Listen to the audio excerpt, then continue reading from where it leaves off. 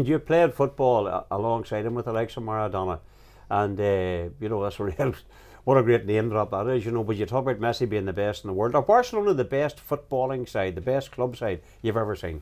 Uh, by a mile. I've watched them for four years now. Um, first year under Pep Guardiola, I thought they played amazing football. They were a breath of fresh air, but they've even got better. I didn't think they could get better from that year. They've got better and better. Their standards go up every year. They've raised the bar much, much higher than I thought it could ever go.